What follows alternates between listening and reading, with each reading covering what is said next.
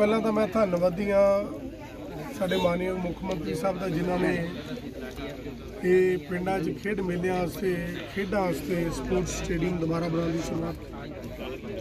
ਸੋ ਅੱਜ ਉਹਦੀ ਸ਼ੁਰੂਆਤ ਸੋਹਣਾ ਸੰਦਰ ਪਿੰਡ, ਜਿਹਦਾ 20 ਲੱਖ ਦੀ ਲਾਗਤ ਨਾਲ ਅਸੀਂ ਸਟੇਡੀਅਮ ਤਿਆਰ ਕਰਕੇ ਅੱਜ ਹੈਂਡਓਵਰ ਕਰਨ ਲੱਗੇ ਜਿਹਨਾਂ ਸਾਡੀ ਨੌਜਵਾਨ ਪੀੜ੍ਹੀ ਨੂੰ ਖੇਡਾਂ ਖੇਡਣ ਲਈ ਹੁਣ ਕਿਤੇ ਬਾਹਰ ਨਹੀਂ ਜਾਣਾ ਪਊਗਾ। ਆਦੇ ਹੀ ਪਿੰਡ 'ਚ